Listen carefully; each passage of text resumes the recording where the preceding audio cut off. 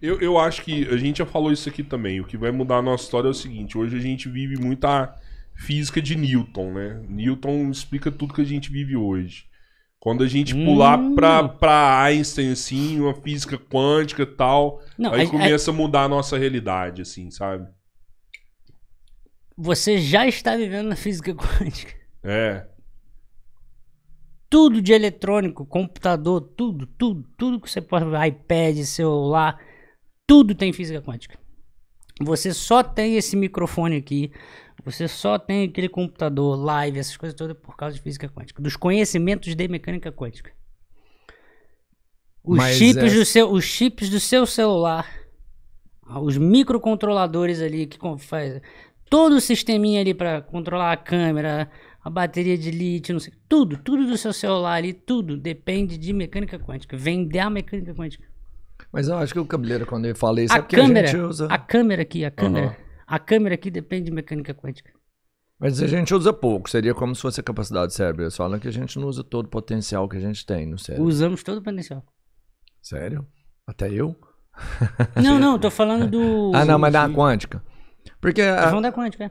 já tem, a gente já consegue usar tudo que ela tem, o que ela tem de, de magnitude, né? De proporção, de, de Sim. expansão. Você acha que num foguete, Sabe- por cê- exemplo... cê já viram, já viram aqueles videozinhos de tem um que eu sei que é tipo uma bolinha de tênis que tá, tá batendo na parede, aí fala que às vezes a bolinha passa e às vezes não. É. Já viu esse videozinho? Não vi não, mas Não. isso seria uma base da quântica, né? Que ela vai. Tem, ela tem um videozinho do- que tem, acho que é até uma menina que fica atacando, explicando sobre o negócio, sobre na quântica há uma probabilidade da, da tua mão passar a parede toda vez que toca na parede. Só que isso na escala atômica. né? Aham, aham. Aí tem um exemplo que fica atacando uma bola de tênis assim na parede. Aí a animação mostra a bola de tênis passando na parede e indo Às embora, ela- em vez de voltar. Aí algumas vezes a bola volta e algumas vezes a bola passa a parede. Isso na escala atômica. Aqui com a gente não Uhum. acontece. Aham. Na escala atômica. Aquilo ali se chama tunelamento quântico. Isso de fato acontece. É como a gente usa, por exemplo, para achar certinho, casar certinho a temperatura central do Sol, do núcleo, para o número da correto, que é 10 elevado a 7 kelvins, a temperatura alta pra caramba. E é o mesmo conhecimento que a gente usa para o que a gente está tentando fazer, que é reator de fusão nuclear para energia do futuro. Mecânica quântica. Caralho. É, o Mano, mesmo, é, o é a mesma tecnologia que também tem que ser utilizada nos processadores Intel, AMD ali, porque existe um limite do tamanho dos transistores. Você tem ali bilhões de transistores, um do ladinho do outro. Uhum. Só que se você fizer, se a indústria conseguir diminuir mais ainda, o tunelamento quântico acontece, aí você vai ter essas coisas como bolinha. Uhum. Às vezes passa... Exato. Então tem um limite físico do máximo de transistores que você consegue colocar num espaço pré-definido ali do, do microprocessador, entendeu? Mas isso pode acontecer com uma matéria, não uma matéria, um objeto novo, um, um novo elemento químico. Mas às vezes numa fusão melhor, sei lá, você conseguir diminuir mais ainda, né? Isso ainda não existe limite físico, né? Dentro da, vamos pensar na teoria quântica aí, né? Não existe. você mas- vai conseguir passar uma hora disso aí, não? Né, Eu não sei se eu entendi bem. Limite físico de quê? É porque você fala assim, no caso dos transistores que a gente tem ali, você, você não consegue colocar mais deles ali. Porque se você colocar mais, o efeito de tunelamento quântico vai acontecer. Que é o. Ah, então é, é isso. É- e mas a gente é não isso. quer que aconteça. Ah, entendi. Porque senão você não vai ter um microprocessador, você vai ter um troço doido ali que você não.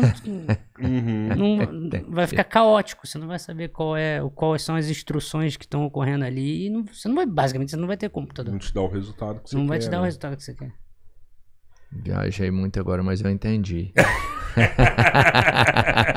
É, é, é, pensa, não, mas é, pensa não, no movimento. você acha que, enxergar, tipo, tipo assim, Newton a gente usa 100% hoje no nosso dia a dia. Você acha que Einstein a gente usa 100% também? Ou tem muita Da coisa teoria de Einstein pra, pra gente usar ainda? Cara, no a gente usa em nosso- GPS, a correção. Sim, A gente sim, usa em cálculo do tempo. sim. O do- tempo do todo, horário né? Senão a Greenwich. gente não se localizava. O, o Greenwich. E usa mecânica quântica. também. Cara, a gente usa quântica e Einstein ao mesmo tempo. Em praticamente tudo de tecnologia absurda que a gente tem. Caralho, velho. Tudo. Foda, Do foda. microfone ao carro, Boa. quântica e Einstein tem ali no meio. Cara, e, e Vou xingar Qualquer um, coisa um que você- que teve aqui que falou que a gente não usava. não usava. é, Não usava? ainda. É, é. Mas o lance é esse. E- Não, é e- porque assim, você pode falar que não usa o quê? É dilatação temporal, que é uma das coisas que acontece ali na relatividade, né? Uhum. Que é você tem a relatividade do tempo, Sim. Né? Se, se você tem coisas. Pode ser que sim, mas isso em quê? Em tecnologia para viajar no espaço? Era essa a conversa. Era. Era nesse nível. Tá, mas então, se você tem ali. Então, mas aí a gente tá falando de ficção científica. Você É. me perguntou de coisas práticas. Sim, sim, sim. Mas o que pode acontecer, né? O que pode. A ficção Ó. científica ela pode chegar pra gente Ó. em algum momento, né? Você pode perguntar, ó, quer ver? Eu vou juntar duas áreas aqui. Hum. Você pode chegar lá pro Serjão, Space Today, e tu pergunta pra ele como é que analisa uma rocha ali, um, um pedaço de rocha, sabe? Uma amostra que você quer saber as substâncias químicas, do que, que ela é feita, tipo meteorito, por exemplo. Né? Alguma coisa de estudo de petróleo lá dele lá. Aí vai usar, sei lá, o LNLS lá, o, o Sirius, que a gente construiu né, em Campinas. Uhum. Você vai ter ali é, partículas atômicas ali, da ordem atômica sendo aceleradas na velocidade da luz. Você precisa de quê? Relatividade para estudar aquilo ali. O funcionamento daquilo ali vai precisar da teoria da relatividade e da mecânica quântica. É porque aí entra, a gente volta no outro assunto de antes, dos especialistas Uhum. tu vai pegar, por exemplo, o Serjão ou qualquer outra pessoa e vai ali, vai só usar o aparelho, analisar, pegar o negócio, mas por trás como o negócio funciona, já tá envolvendo ali quântica e relatividade, cara. Não tem como você, se não, se não usasse, não, estaria, não, não teria construído, Certeza. entendeu? Não teria construído. Total. Cara, e com as fórmulas e, e o que a gente teve de ciência de Einstein, por exemplo, a gente chegou onde a gente está, Uhum. né? Foram com os conhecimentos que ele passou. E E mecânica quântica. sim, e, e de onde vai surgir alguma coisa nova? Ou o que tinha para ser entendido já aconteceu? Agora você fez uma pergunta que é difícil responder. É difícil responder. É. Sabe quem faz essas perguntas? É, elas são boas, são perguntas boas. Essas perguntas a gente vê, ah, assim, quando tem um grupo de cientistas pedindo financiamento para construir um negócio que ser tipo James Webb, né?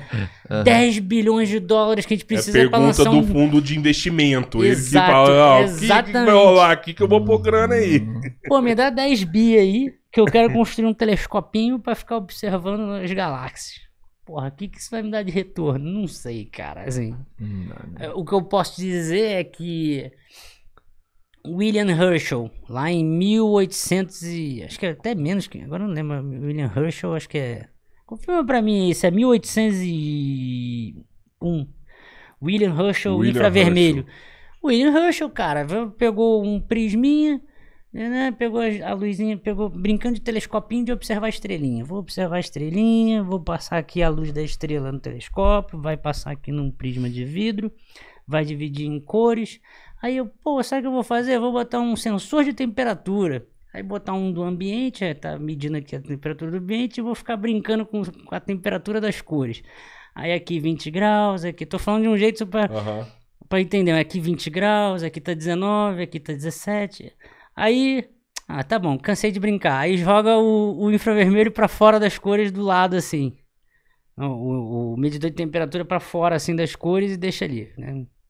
Aí mede mais alto que a temperatura do ambiente. Aí tu pega, ué, aí bota no azul, no vermelho e vai aumentando, aí no lugar onde não tem nada ficou maior do que do ambiente, que tá fora também. Aí bota pro outro lado, tá ambiente. Bota pra cá, tá maior. E não tem luz nenhuma. Aí ele chama aquilo ali de raios caloríficos. É o infravermelho. O que, que a gente faz com o infravermelho hoje? Ah, quer ser comida? Ah, quer...